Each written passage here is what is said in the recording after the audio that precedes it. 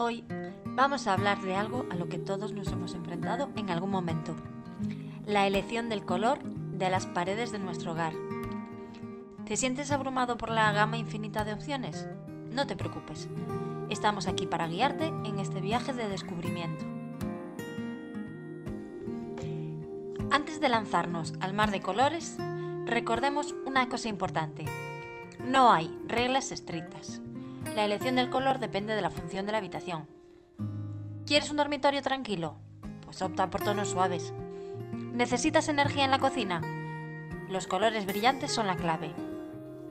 ¿Qué tal si creamos una paleta de colores con todos los tonos que te gusten y que se adapten a la personalidad de cada espacio? Cada color tiene el poder de influir en nuestras emociones y estado de ánimo. El azul puede transmitir calma y serenidad, mientras que el rojo puede evocar energía y pasión. ¿Sabías que el amarillo puede ser un estímulo para la creatividad? Así que, al elegir los colores para tu hogar, ten en cuenta cómo deseas sentirte en ese espacio.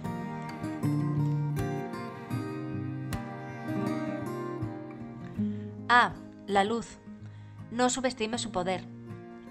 Los colores pueden comportarse de manera diferente bajo la luz natural y artificial. Así que, antes de tomar una decisión, asegúrate de observar cómo se ven en diferentes momentos del día. ¿Quién hubiera pensado que un color puede tener varios aspectos a lo largo de un día? Imagina una paleta de colores que se adapte a cada matiz de luz. Y aquí va un consejo de oro. Mood boards.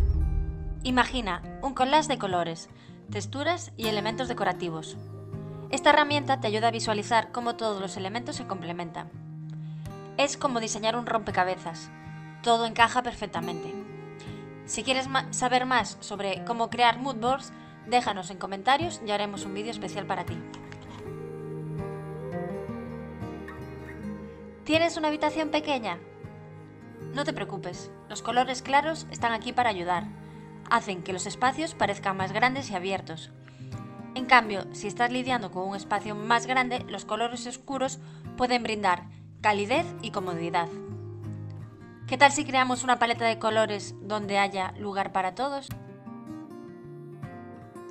Por ejemplo, para el estilo minimalista, los blancos y los grises suelen ser protagonistas. En cambio, el estilo bohemio abraza los colores vibrantes y eclécticos. Explora, experimenta y encuentra la paleta de colores que mejor exprese tu estilo personal. Y así llegamos al final de nuestro viaje en busca del color perfecto para tus paredes. Recuerda que, en última instancia, tu hogar debe reflejar tu personalidad y tu estilo. Así que, sé valiente y elige con el corazón. Si te gustó este vídeo y quieres más consejos de diseño de interiores, no dudes en suscribirte y dejarnos tus comentarios.